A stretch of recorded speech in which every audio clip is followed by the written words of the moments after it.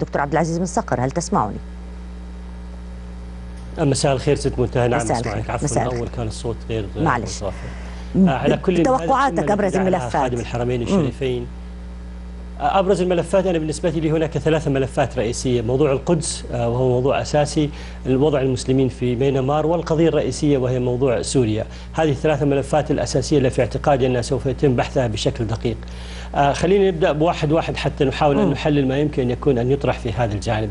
بالنسبة لوضع المسلمين في ميانمار أنتم تعلمين أنه في أواخر الستينات القرن الماضي وبداية السبعينات تعرض المسلمين في ميانمار لعملية تطهير عرقية كاملة وبعضهم قدموا إلى المملكة وكان المرحوم الملك فيصل رحمة الله عليه اهتم بوضع المسلمين وموجودين ويعني جاءت جالية كبيرة منهم إلى المملكة في مكة وجدة وأقامت هنا لأن وضعهم هناك غير مناسب. في الوقت الحالي اجتمعت منظمة التعاون الإسلامي الأسابيع الماضية وحاولت أن تخرج ببعض نتائج وهنالك لجان تنفيذية الأمين العام المساعد ل- للمنظمة متوالي للشؤون الإنسانية موجود الآن في ميانمار لبحث هذه القضية، ما يريده مسلمون آه، بورما كما نسميهم هي هي اولا حق المواطنة، العودة السليمة، عدم التطهير العرقي وقتلهم، هم لا يبحثون عن قضية انفصال، فهنالك يعني قضيتين أساسية مهمة، الضغط الدولي التي يمكن أن تمثله الدول الإسلامية على حكومة ميانمار العسكرية لإعطاء الحقوق للأقليات المسلمة الموجودة وعدم الاعتداء عليهم ووضعهم بطريقة وبقائهم بشكل آمن وإعادة حقوق المواطنة بالنسبة لهم.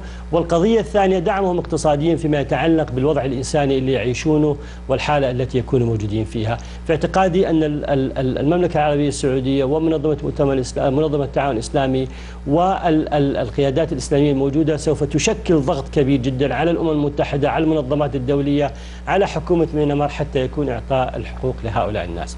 القضية الثانية وهي قضية القدس وقضية القدس هي قضية مهمة. هنالك حراك إسرائيلي نحو عزل ما يقارب من 90 ألف مقدسي تحت سور معين حتى يفصلون ويصبحون تابعون لل- لل- لل- للضفة الغربية. فهو أولا يعني إلغاء أي إجراءات بتقوم فيها الحكومة الإسرائيلية في- فيما يتعلق بوضع هؤلاء. النقطة الثانية طبعا ال- هنالك تدمير وهدم وتغيير للهوية وتغيير لل- لل- للشكل العام فيما يتعلق آه، بوضع ال- ال- القدس الشرقية.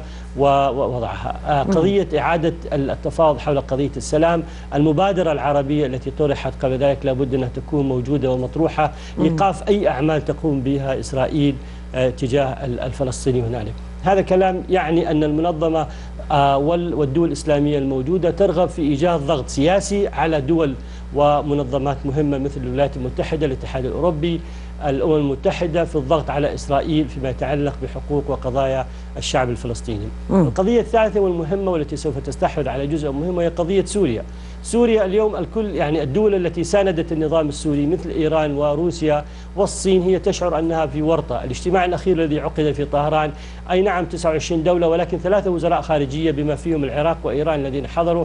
أما البقية كان تمثيل يعني آه آه يعني بسيط وهذا هدفت منه إيران أن ترسل رسالة قبل اجتماع مكة أنها تبحث عن مخرج سياسي وحل سياسي لهذه الأزمة إيران تشعر أنها آه، آه، مهتمة جدا بوضع الملف السوري ووضع الحكومة السورية تريد أن توجد مخرج. حقيقة الكل منا يتطلع إلى أن يخرج خادم الحرمين الشريفين وهو راعي هذا التضامن الإسلامي بمبادرة جديدة تحل هذه الأزمة وتنقف وتوقف نزيف الدم والاستبداد الذي يقوم به الحكومة السورية والجيش السوري على ال- ال- ال- العزل والأبرياء مع الأسف الأيام الأخيرة في رمضان بدأنا نستمع إلى أعداد القتلى بالمئات في خلال أيام صحيح. رمضان وهذا أمر يعني لا يجوز ولا يرضي الله سبحانه وتعالى فنحن نتطلع إلى وجود حل وتوافق إسلامي حول الانتقال السلمي للسلطة في طيب، سوريا هل ممكن أن يكون هذا- المملكة تريد آه، يعني هل هل ممكن أن آه، آه، يك- يكون موجود هذا الحل أو هذا الموقف الموحد في ظل وجود إيران في المؤتمر؟ أنا أنا في اعتقادي هي ايران إيران أيقنت أنها لا تستطيع أن تقدم الحل أنها لا تستطيع هي أيضا أن تقدم الدعم اللامحدود لسوريا إلى درجة غير محدودة لا هي ولا روسيا.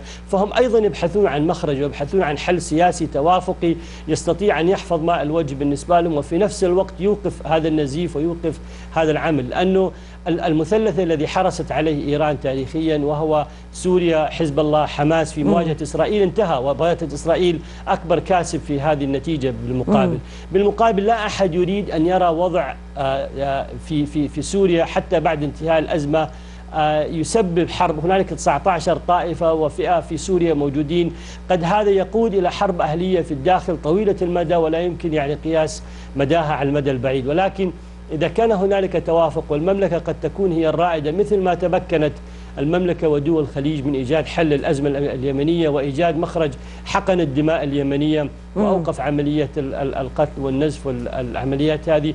يمكن أن يطرح إن شاء الله يعني مبادرة تكون مقبولة وتكون إيران بوجودها في هذا المؤتمر. هي أيضا ورقة ضغط على سوريا للقبول بالحل أيوة. السلمي السياسي اللي الكل يتطلع له وهو انتقال السلطة. طبعا هنالك عدة بدائل قد يتنحى الرئيس قد يكون هنالك مرحلة انتقالية قد يكون هنالك يعني يعني ممكن يكون في خيارات كثيرة يمكن أن تطرح يعني من الصعب الاستعجال في في في في في, في طرح تصورات فيها ولكن ال ال ال الهدف حقن الدماء انتقال سلمي من السلطة إيقاف أيوة. هذه العملية الضغط على وجود ضغط دولي باستخدام هذه الدول الإسلامية لأنه خادم الحرمين استنفذ كل المعطيات بدأ بالاتصال الشخصي وكانت هناك اتصالات شخصية بين مسؤولين سعودي وباتصالات مباشرة من قبله.